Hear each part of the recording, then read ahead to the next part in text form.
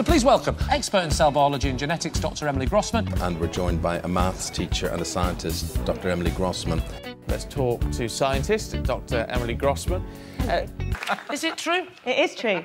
Uh, the call sounds of domestic animals have always been thought to be totally genetic.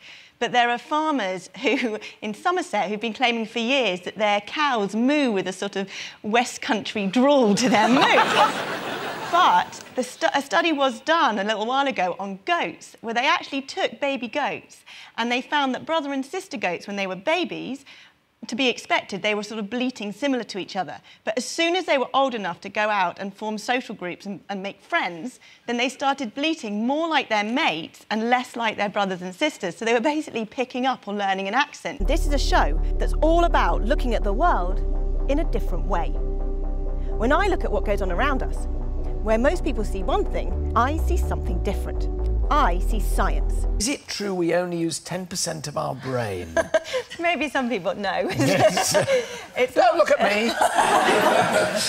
it's not um, true. No, it's one of those myths. It's not actually true. They did uh, brain mapping studies where you look at how the brain's being used, and actually all of the brain has a function, and over the course of an average day, we do use 100% of it.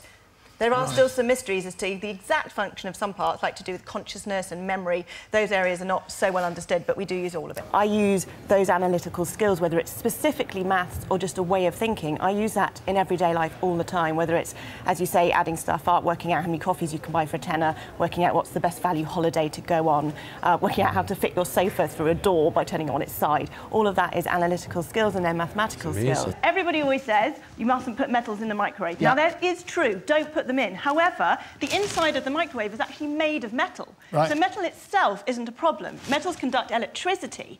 And so when they absorb the energy from the microwave, if they have any sharp edges, like a fork, little prongs, yeah. the electrons in the metal will move around and they'll build up at the corners, and that could cause a dangerous build-up, and the electrons can jump across and cause a spark, which is called arcing. What are nipples for? What are nipples for? I don't know. I asked you first.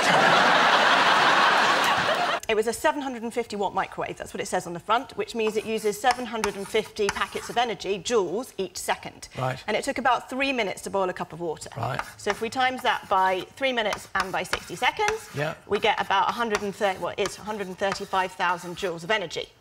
Uh, no, missing a note. Yeah, yes, it's, like, it's like Carol Vorderman on Countdown, Wherever you go, there is this kind of um, connection between being good at maths, being good at science, being good at anything technical, and being geeky, which I actually think is a really cool word. I describe myself no, as a geek. Yeah. I'm cool geek. I'd like to be. this one's hot. Here we've got cold. Here we've got hot. Yeah. Now we've got hot on the bottom. Yeah. So I'm going to do exactly the same. Yeah. And invert it over. Yeah.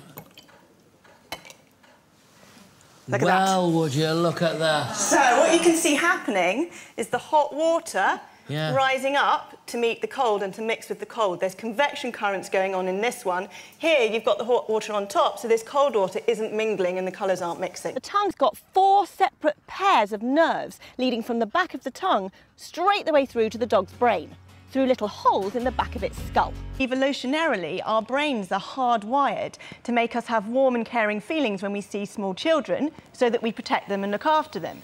And that's because there's a hormone called oxytocin that's released in the brain, which makes us feel all soft and fluffy when we see cute things. And um, interestingly, if they put a picture of a cute puppy in the wallet, more of them came back as well, but not as much as the baby. Then you can start talking about why do birds fly? Well, OK, they flap, but what about when they're soaring? Why are they soaring? Why don't they just plop down? And you say that to someone, they go, oh yeah, I hadn't thought of that. And it's like, okay, so those are heat currents. That's thermal convection, convection currents that are rising up through the air and keeping the birds in the sky. So if you start to make science something that people actually um, find relevant in their lives, then it becomes interesting, and then that's your jumping off point. So, uh... yeah, time out.